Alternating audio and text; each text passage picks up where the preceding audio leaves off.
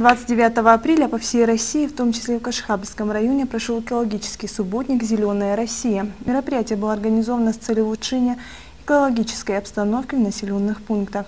В субботнике приняли участие большое количество людей, выполнен немалый объем работ. Центральная часть аула была поделена на участки, которые были распределены между организациями.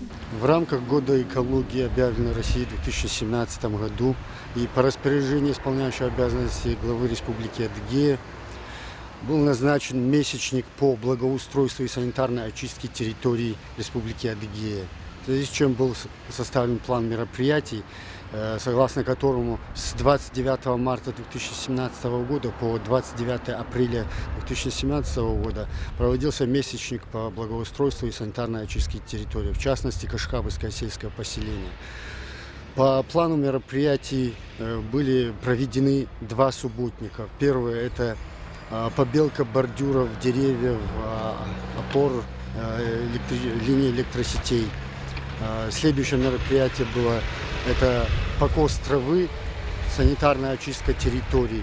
Э, в частности, э, это аллея по улице Дружбы народов вдоль железной дороги, парк отдыха, вся центральная часть аула Кашихабль, плюс прилегающие территории к таким организациям, как Центральная районная больница, общеобразовательные школы, детское образовательное учреждение, это детский сад номер один, Э, в мероприятии принимали участие около 60 предприятий, организаций, индивидуальных предпринимателей. Всего приняло участие примерно 330 человек. Э, и э, в мероприятии были задействованы три единицы спецтехники.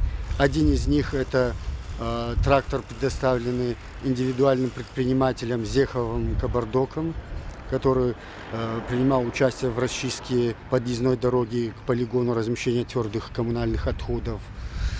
Э, также проводились мероприятия по расчистке березовой рощи от сухостоя и сорной растительности и бытового мусора. Мероприятие проведено на должном уровне.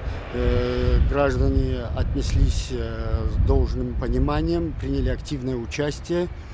Э, результаты видны.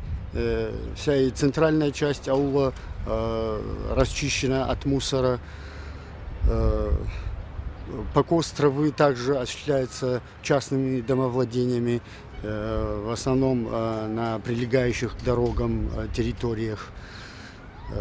В дальнейшем к 9 мая также планируется провести небольшой субботник по подготовке к празднованию 72-й годовщины окончания Великой Отечественной войны.